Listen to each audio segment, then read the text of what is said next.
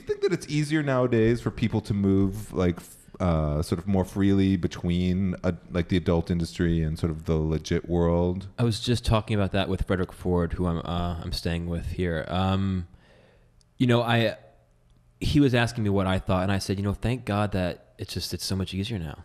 You know, I mean, like the whole gay thing isn't as you know taboo as it once was, and the whole porn thing isn't as taboo as it once was. I mean, you know, Well, you look at fucking XTube and like every ma and pa are like putting their Totally. like, their, It's just their like- couch buffing on on TV. I mean, on the internet. it's, just really like- mainstream almost. Like Like- no one like goes, or they don't look down on it anymore.